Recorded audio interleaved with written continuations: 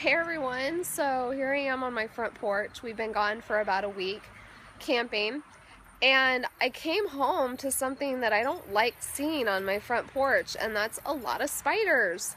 And uh, unfortunately I kind of startled one of them and he went into hiding so you can't see what he is. But they're the typical you know, outdoor spiders that make their way in the house in the fall and freaks your kids out. So we want to do our best to get rid of them. And in my house, I clean with peppermint um, in my spray cleaner. So I'm to make some of that really quick so you can see how I do that. Let me turn my phone around. Okay, so here I have my spray bottle and um, my peppermint oil. So I just got to get this open. And in my spray bottle I have um, just a little bit of white vinegar because that's what I clean with. About this much white vinegar and then I fill it up with water. And you can see how much is in there. And then I'm going to be very, very liberal with my peppermint. I like to do like 20 drops. I want to smell it basically. So I want to smell this peppermint because I don't want these spiders coming back. So I think I've got about 20 there. I'm not really completely counting it, but just eyeballing it.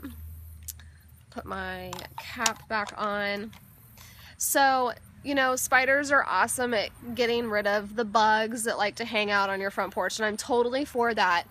Um, what I did last year was I actually left a spot on my porch for them to stay because they were out of the way, they were getting the mosquitoes, and I like that. But here's what I've got going on right now.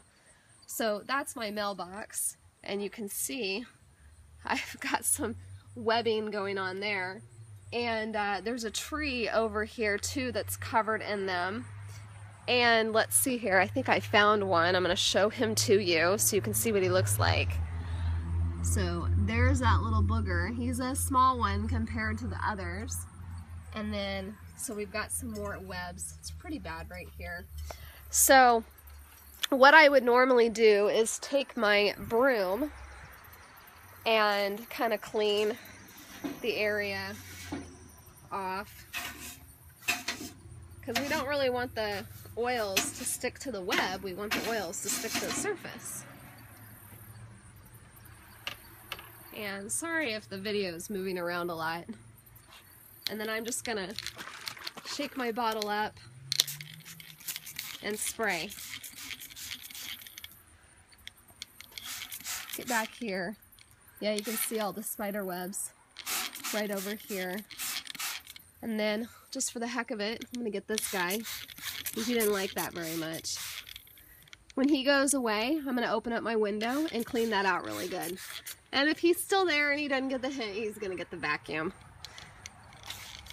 Oh, there's a really big one down there that moved. So, that's what I do. Let's get rid of spiders. Have fun.